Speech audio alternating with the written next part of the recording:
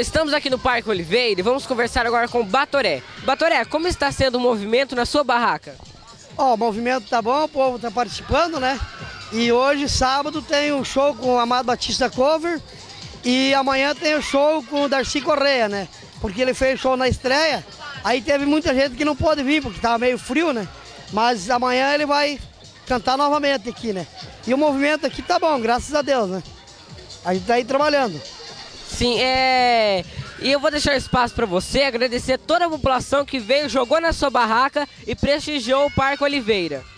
Então, a gente agradece o povo, modo geral, né? Que participaram do parque e também quem participou aqui da brincadeira. Porque essa brincadeira aqui da roleta é uma brincadeira que funciona em festa de igreja, em festa do município, né? Qualquer evento ela funciona. Né?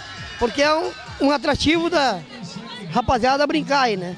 Postando, né? Corinthians, Palmeiras, Santos e São Paulo, né? Aí você se diverte e a aposta é mínima, né? Pouquinho. Não, não aceita aposta alta, né? Mínimo é dois, né? Máximo dez. Aí tem chance de ganhar uma, duas, três, até quatro vezes a mais. Sim, muito obrigado, Batoré. Ângelo de Oliveira para o ivehoje.com.